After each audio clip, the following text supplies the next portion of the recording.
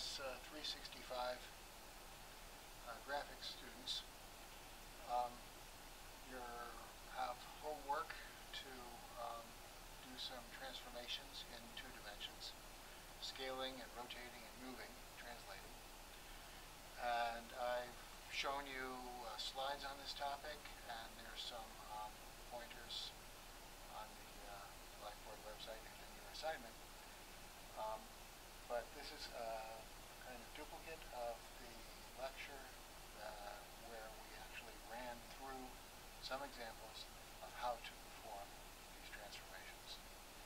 So just to review first what we're doing by way of matrix multiplication, um, since people don't seem to remember that, I will now show you how to multiply these 3 by 3 matrices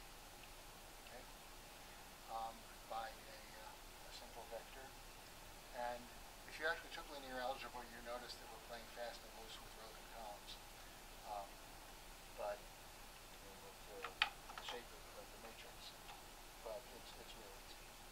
So let's imagine we have a matrix that looks like this. And we're going to be doing 3 by 3 matrices, which is what you need for your homework. And for three-dimensional graphics, it's 4 by 4 matrices. So let's just imagine we have a matrix here which is uh, uh, 2, 1, 0, 3, 0, 4, 0, 0, 1. And that's going to be a transformation matrix. And this will be a transform. And then this is going to represent a point in two dimensions. And a point in two dimensions will be uh, an x, a y, and uh, a 1. So let's just say this is at uh, 0.5 and uh, 0.8 and 1. So that's going to represent a point like over here at 0.5 x and 0.8 y. That would be be about here. So that this is going to represent uh, 0.5 comma 0.8. Okay, that's kind of like. When we multiply, what we do is we do a dot product between the row and the column. So this part over here is going to be this row and this column. We're going to dot them together to make that. All right? And again, linear algebra people, you're accustomed to, to getting you know, rows out, but we're always going to make columns. Um, so the dot product here will be 0.5 times 0.2. 0.5 times 2, 0.8 times 1, and 1 times 0. Okay? Which is going to be, well, that's 1.8. See how we did that? 0.5 times 2 plus 1 times 0.8, 1.8. 1, point, 1 times 0, you get 1.8. Okay, the next number is going to be this row times this column. So that's going to be 0.5 times 3. Got it? Plus 0 times 0.8. and then 1 times 4. Okay? So 0.5 times 3 is 1.5, right? Plus 0 plus 4, that's 5.5. And then the last one is going to be this row times this column is 0 plus 0 plus 1.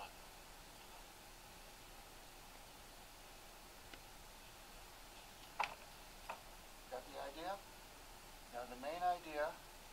So, I'm sorry I went off the top here a little bit. This represents an x comma y of 0.5 comma 8.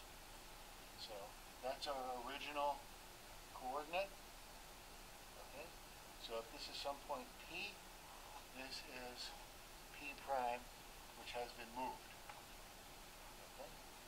So the main idea is that we're going to make these transformation matrices and apply them to the vertices in our diagrams by doing this matrix multiplication thing.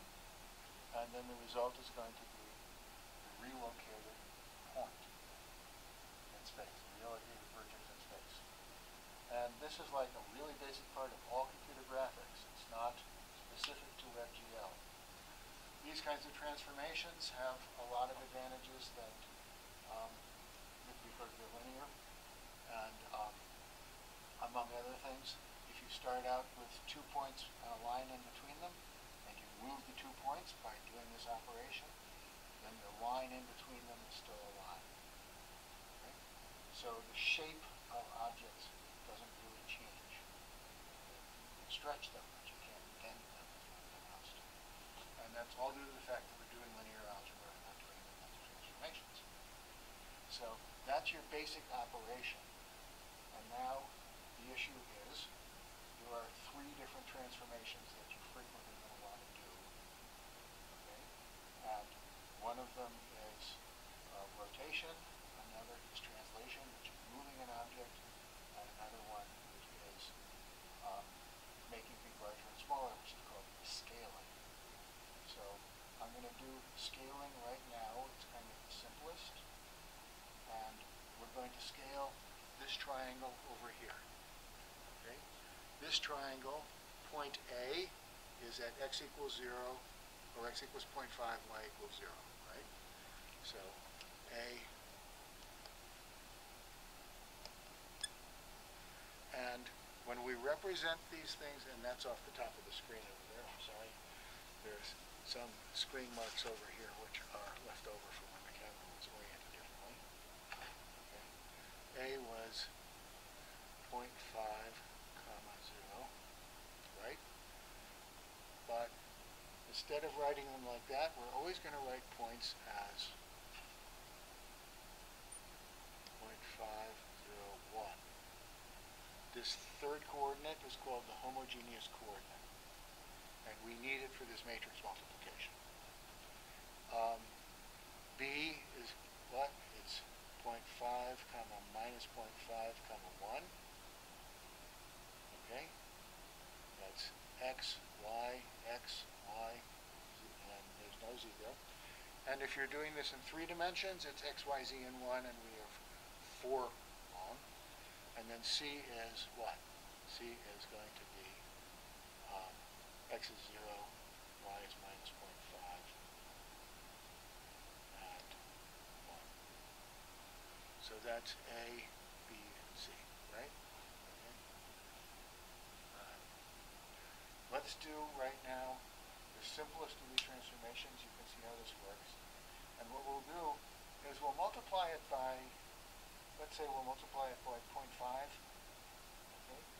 We'll multiply it by 0.5 in the x dimension and scale it by 0.5 in the x dimension. Okay?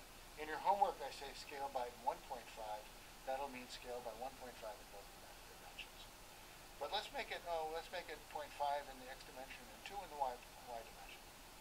So we're going to shrink it by half this way, okay? and multiply it by 2 that way. Got it? Okay. So a scaling matrix.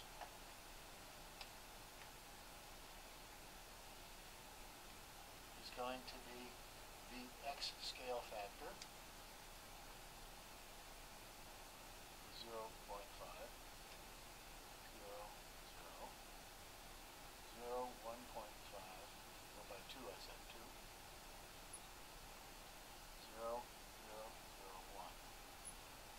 And so that's scaling in the x dimension.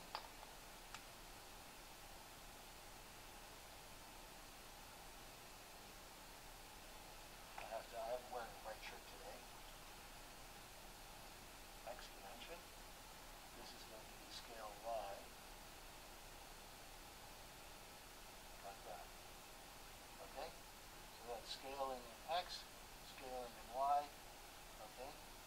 So the idea is that if I take, if I take the three points of this triangle and I multiply them by this matrix and then plot the three points, I should have a triangle which is shrunk by, multiplied by 0.5 in the x dimension and expanded in the y dimension according to that.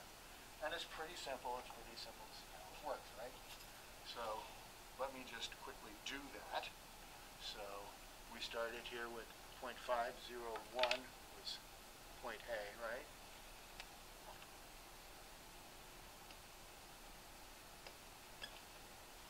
Point five zero and one. All right. So what do we get? We get 0.25, right? Zero, zero, right? Simple. 0.25 plus zero plus zero.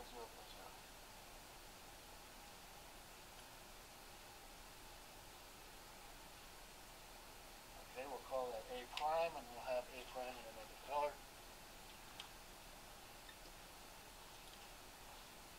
Okay?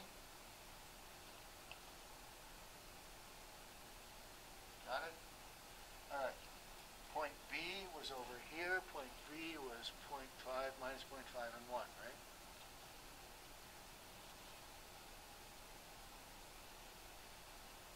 Let's put, just put A prime in this diagram here. A prime was 0.25, 0, and 0.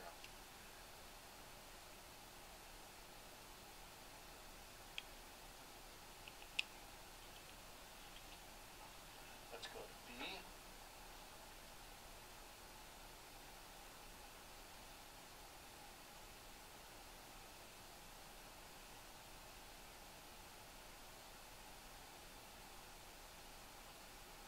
B was 0.5 minus 0.5 and 1.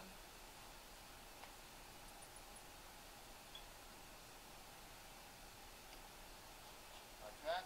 Got it? What do we got? 0.5 times 0.5 is 0.25, 0, 0. Okay. 0.5, 1,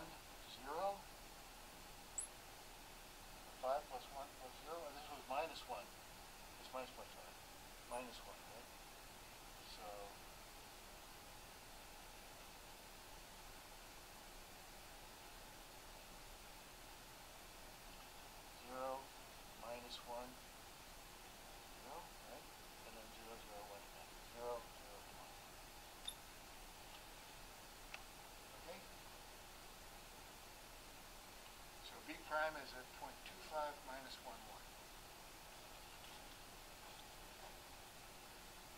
B prime over here is at 0.25 minus 1.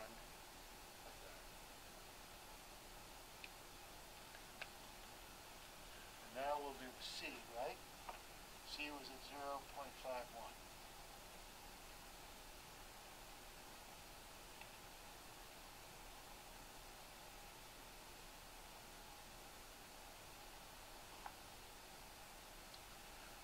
is that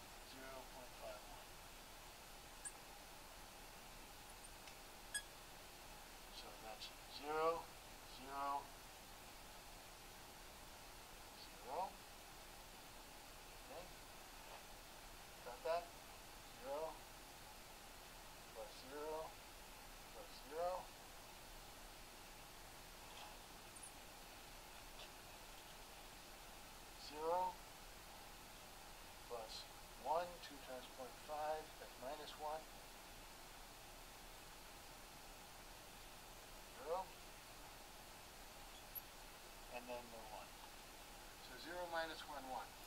C prime. C prime is down here.